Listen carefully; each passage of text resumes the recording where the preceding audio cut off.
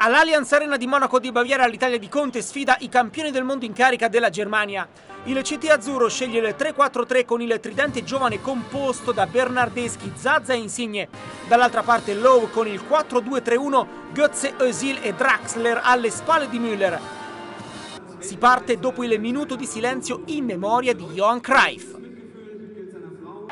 L'Italia prova subito a fare la partita ma all'ottavo c'è il contropiede tedesco, inserimento centrale di Osil con la chiusura provvidenziale da parte di Darmian. Al ventitresimo Müller la mette in mezzo, Bonucci allontana sui piedi di Cross l'interno destro e il gol del vantaggio della Germania, seconda rete nel giro di una manciata di giorni per Cross dopo il gol all'Inghilterra ed è 1-0 per i tedeschi. L'Italia soffre, la Germania insiste, ci prova anche Müller con Buffon che si salva in calcio d'angolo. Al 31esimo tocca a Draxler cercare la porta azzurra con Buffon che riesce a distendersi. Allo scadere Müller vede molto bene Götze che piazza il 2-0 con un colpo di testa la rete dell'eroe della finale mondiale di due anni fa contro l'Argentina. Bravo Götze a beffare sia Darmian che Florenzi 2-0 all'intervallo. L'Italia prova a scuotersi nel secondo tempo e allora subito Insigne a inventare per Montolivo controllo esterno con la palla che finisce sul fondo. La Germania tuttavia continua a giocare meglio, la grande azione di Draxler, triangolo con Götze e poi l'assist a rimorchio per Hector che piazza il 3-0.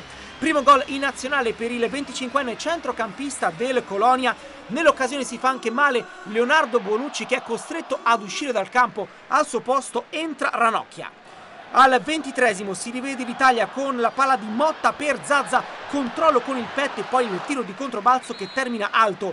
I cambi di Conte entrano tra gli altri Okaka, Parolo e Del Sharawi, ma al ventinovesimo è ancora la Germania con il lancio di cross per Rudy che viene steso in area di rigore da Buffon, è calcio di rigore per la Germania.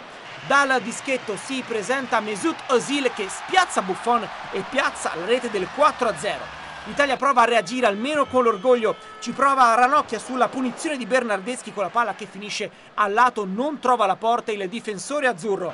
Al 37esimo Okaka per El Sharawi che si gira, va al tiro deviato da Rudiger e c'è il gol della bandiera per la nazionale di Conte con Ter Stegen messo fuori causa dalla deviazione del compagno di squadra, terzo gol in nazionale per El Sharawi in 18 presenze. A Monaco di Baviera finisce 4-1 per la Germania che torna a battere gli azzurri dopo quasi 21 anni. I tedeschi non avevano mai battuto gli azzurri negli ultimi 7 incroci.